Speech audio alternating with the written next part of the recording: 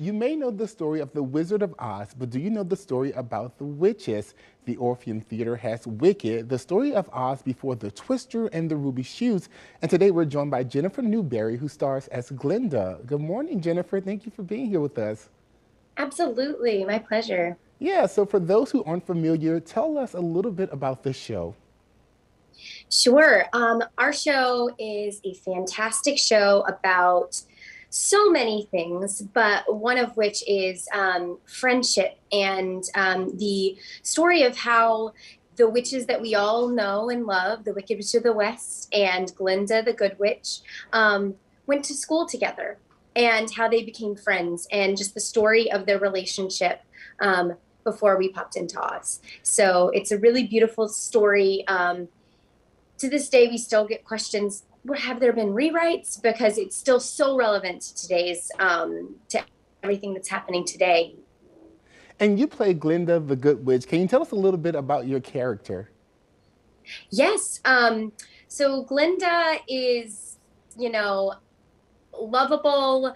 Um, she loves making people um, happy. She loves contributing and she uh, she's innocently naive to how much she um, needs to be the center of attention. Um, but all in all, she has a good heart and she does want to help others, which we see in her friendship with Elphaba and um, and we see throughout the show. Yeah.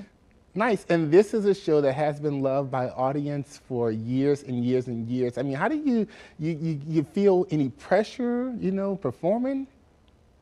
You know, I do. There has been such a legacy of incredible performers that have come before me, that have paved the way for um, for me to now step into this role as well. And they're, I just, I feel them uh, there with me. Um, the show has almost been running for 20 years on Broadway, and our tour has been open for, I believe, 12 years. So um, there's just I work with incredible people. And so I do feel pressure, but I, I feel like it is shared and we all carry it together. So um, we love bringing our story to, across America and, um, and we all take pride in that.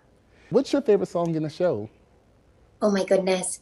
You know, it changes. I really love the opening um, as well, which is called No, no One Mourns the Wicked.